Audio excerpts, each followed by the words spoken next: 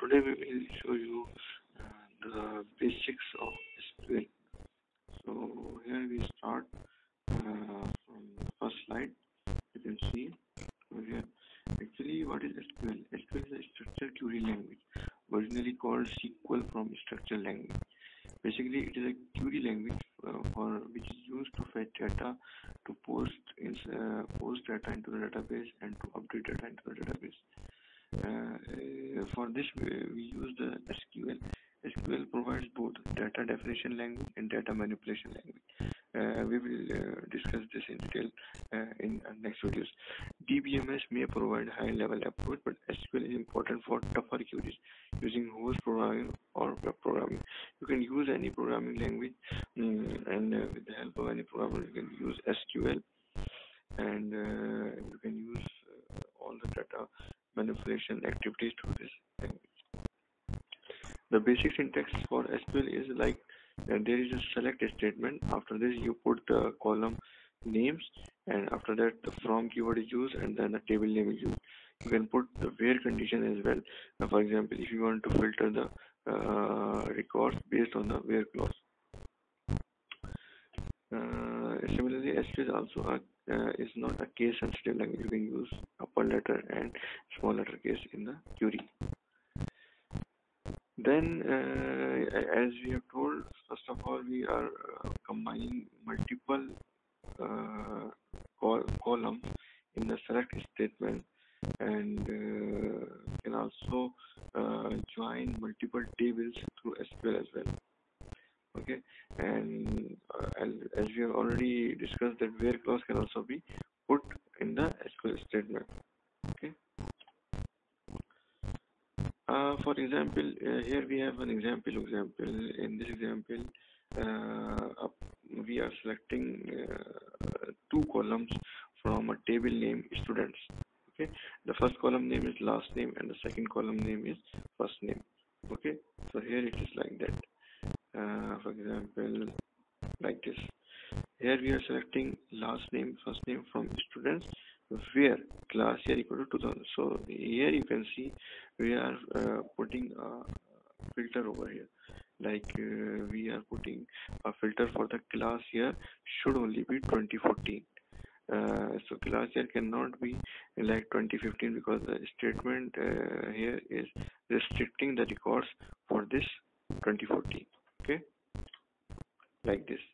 See you can see last name first name only for the class year 2014 okay? After that we can also select over here. You can see in the example we are selecting last name first name from student table where city is equal to uh, Fredericksburg okay? It means that only this city uh, students are coming uh, with the last name and first name. So city is one of the column of that students table for which we are doing the filtration okay? Like this. Gonzan, Platt, Sally this is all from the city this one okay? After that one more example. Select last name first name state from student where city equal to this. Same here we have added one more column which is called state but uh, we are using the same table and the same filtration statement where clause that means like this first name last name state and tx now you can see uh, one more example. Select last name first name state from student where city equal to this and state equal to texas. It means that in this uh, statement we are putting two filter. One is for the city and one is for the state. But for this where statement both of the uh, statement should be uh, positive. Positive means the city should be uh, the records of those students will be fetched where city is only this one and state is texas. Other records will not fetch. And for the statement of uh, this uh, and keyword uh, it means that both the statements should be correct to fetch the data. If one of the statement is uh, not correct then it will not execute it. It will not fetch any record for you. Okay like this here you can see last name first name and state and uh, you can see only the texas if there is no texas record it will not fetch any record okay in the table.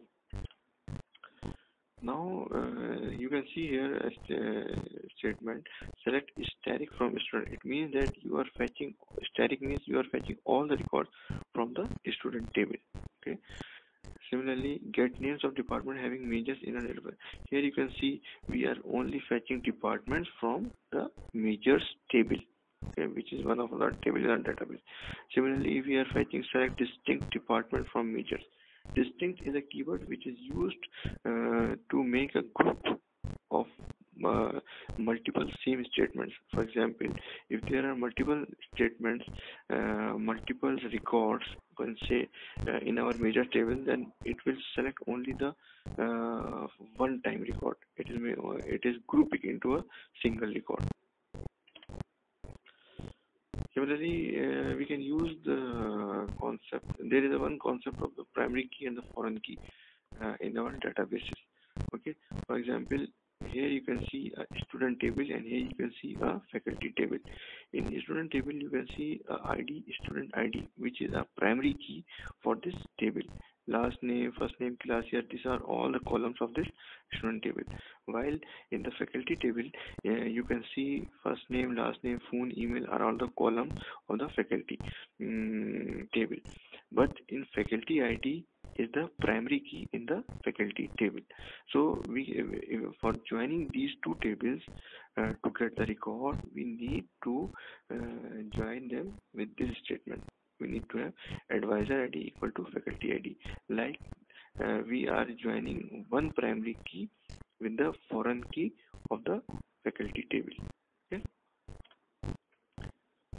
Similarly we are now connecting majors table with the department chairs we have two tables over here majors and faculty in major table the primary key is the major id while in faculty table primary key is the faculty ID. For majors, faculty ID is the foreign key.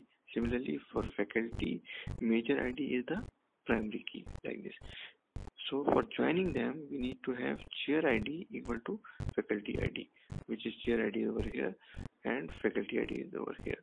In this table, we are seeing it as a chair ID and over here for joining, we are uh, joining with the uh, foreign key of the uh, faculty table. Okay for example like this student last name advisor last name we are selecting student last name faculty last name from student table and faculty table by joining both the primary and foreign key of both the tables. For example uh, in advisor id is in the student table and faculty id is in the faculty table. As seen like this. Seen like this. Advisor id in the student table. Okay. Similarly, we can also use aliasing. Aliasing is a technique in which we give the name uh, to a smaller name to some uh, table. For example, here we use uh, giving the name of student table as S and faculty table as S. So we are putting like this S dot last name, F dot last name. Okay, F means faculty table and S means students table. Like this. S dot last name, F dot last name, giving the records from the table. Similarly, we can also use intermediate table. Intermediate table uh, has both the uh, primary key of uh, the first table and uh, the primary key of the second table. For example, here you can see in student interest table we have student ID from student table and interest ID from the interest table okay and uh, we are joining like this student dot student id equal to student interest dot student id and similarly student interest dot interest id this one with the interest dot interest id this is how we join the two tables which have many to many relationships. Like students have multiple interests. Similarly same interest belongs to multiple students.